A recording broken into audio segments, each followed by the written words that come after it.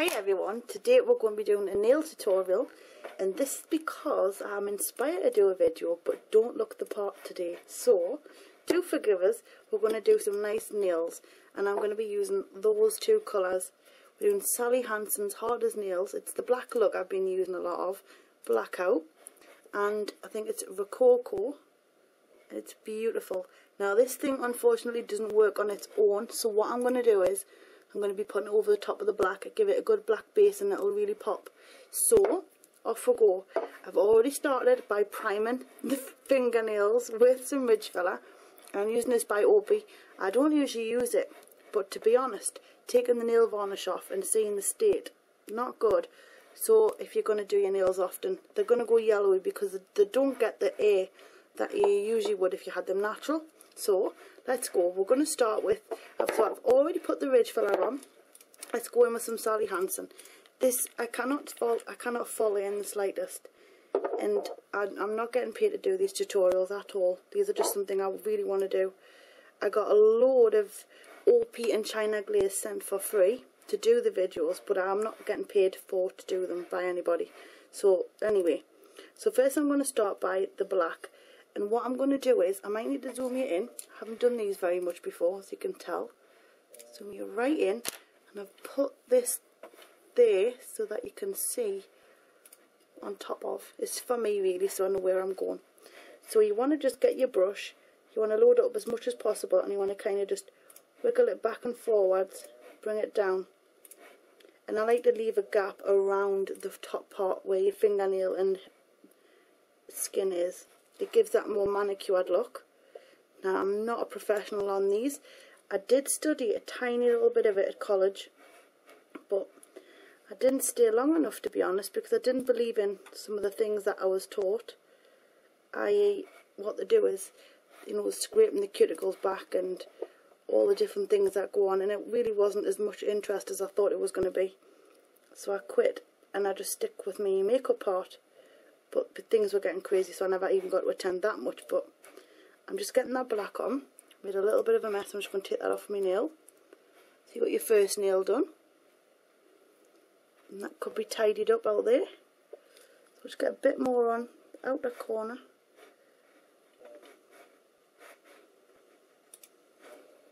So you've got a nice shiny black and then we're going to go in with this one as well and I might do some more of these if you want so let us know your feedback on it. Just pulling that right over and then around. Now you might need one or two coats of this. Now bear in mind I'm going over a ridge filler. So my nails are already based if you like. And it does need a couple of coats but once you've got your couple of coats on you cannot fault it. It's brilliant stuff Sally Hansen things just going to go back over.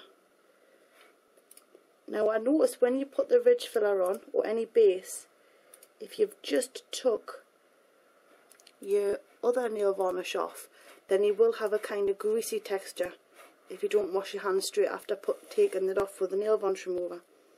So the base is good for that. So I'm just going to go over there and I'm going to also cut it as well so you're not having to look at the whole thing. I'm only going to do this hand so it keeps it short. Got lots of different things coming up. I'm going to be showing you how to put the individual lashes on as well as false full ones in all different looks. So you've got, I'm going to show ones for the office, one for evening, one's for wedding, and we'll go through different ones. You've got a nice little thing going on there and then I'm also going to do contact lenses and I'm also show how to put in, how to take them out and how to keep them clean and neat ready for another use because you can use them a lot. Some of them are disposable but you can still get quite a bit of time out of them so don't worry about that. Just getting right in there. This isn't this isn't to show you how to do your nails perfect. This is just to show you how different ones work, to spice them up a little bit, what to put with them. Just again, some ideas, just like the makeup tutorial. so nothing professional about them but if you're interested and you enjoy them well I'm over the moon so I'll get this one painted in quick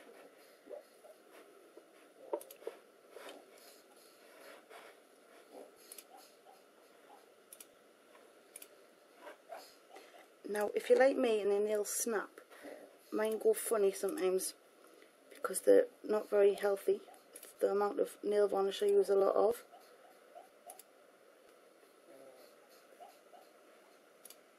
Now I need to do this side here as you can see. So let's go back in the jar. I think I'm only going to need this coating of this because I'm going to be putting, I'm also holding it up with my other little finger just to get right in there.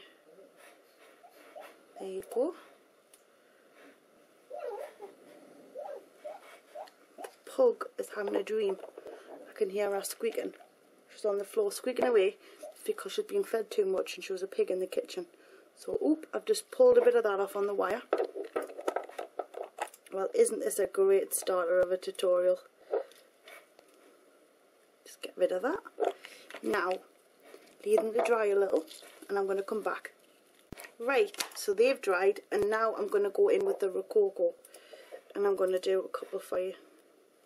So, start with your little finger and we're going to just gently lift it up with the other finger, the other little finger. Get a nice amount on so that you don't have to go back over with the brush because I think it's best to go on with quite a lot. And then we're going to just gently run this over the top like that. And you can see if you look, it's got like a 3D glitter. Isn't that pretty? This is what I am absolutely loving right now. If you've got any other ideas, let us know.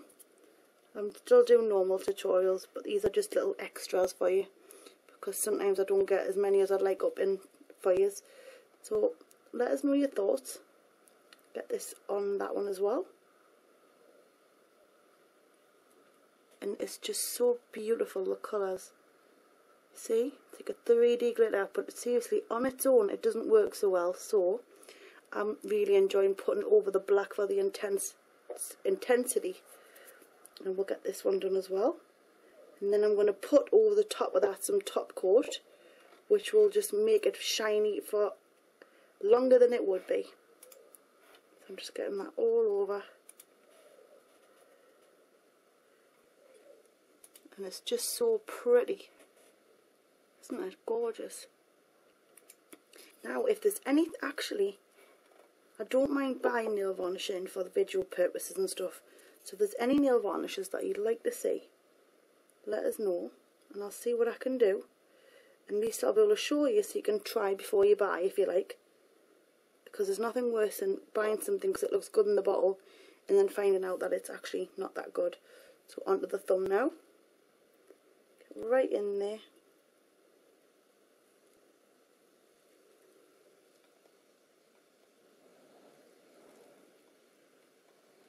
Now, because of the ends, they're a bit shattered, I have to go over doubly, just so it's like a thicker edge. Because the different stages, because sometimes when your nails get very long and they're not very good, they split and they lift up and this, this they tend to go into like two pieces, which isn't good. There's all different things you can use and I'm going to try and show you some of that as well, healers for them. Now for the top coat I'm using Orly top coat and this is just going to make it shiny lovely. So what I'm going to do is I'm going to just wiggle them a little bit I'm going to go in and finish off. This doesn't need to be put anywhere special. Just filling it on. Just drop it on basically. Let it find its own way and it gets that lovely shine just drop it on and let it find its own way doesn't even have to be applied properly just go with the flow so plenty out the jar. They just drop it on.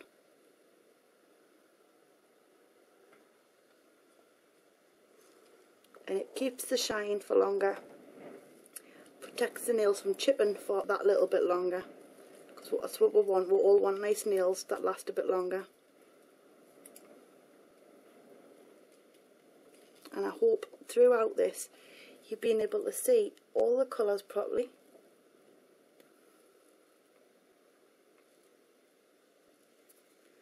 Getting a good amount on there like that. And there you have it.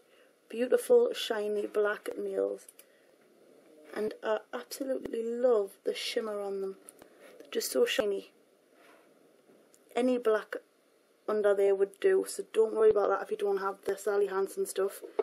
And to be honest a lot of black nails with different colour type of things like that on top always go well. So I really hope you enjoyed my first nail varnish tutorial in a long long time.